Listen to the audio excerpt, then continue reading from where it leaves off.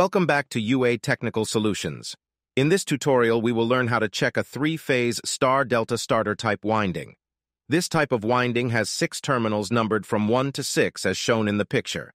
To understand internal connection of these terminal, find the link of video in the description.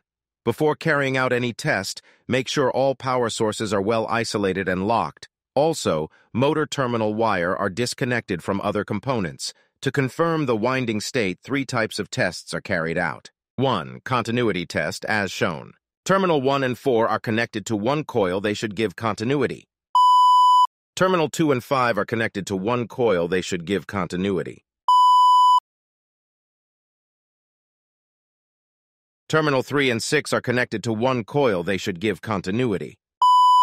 Any terminal of one coil should not give continuity with other coils' terminals. For example, terminal 1 and 4 should not give continuity with terminal 2.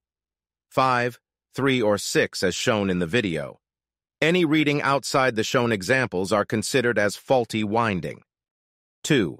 Winding resistance test. Resistance test is carried out to confirm the motor winding coils condition.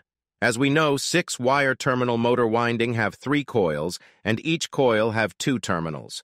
The resistance of the three coil should be same or plus minus 1. As shown in the video terminal 1 and 4 are from one coil and shows a resistance of 0.2 ohms. Terminal 2 and 5 are from one coil and shows resistance 0.2 ohms. Terminal 3 and 6 are from one coil and shows resistance 0.2 ohms. As per the reading, this is considered a good winding condition. Earth testing. This test is used to check the motor winding insulation state. This test is carried out in two ways. One, using the multimeter it is called a basic test and cannot be used as final results. Two, Megger testing recommended especially for compressors motors. Find the link in the description to learn how to perform Megger testing. In this example, earth testing using a multimeter is shown one line of meter should be connected to earth, and the other line of the meter should be connected to motor terminals one by one.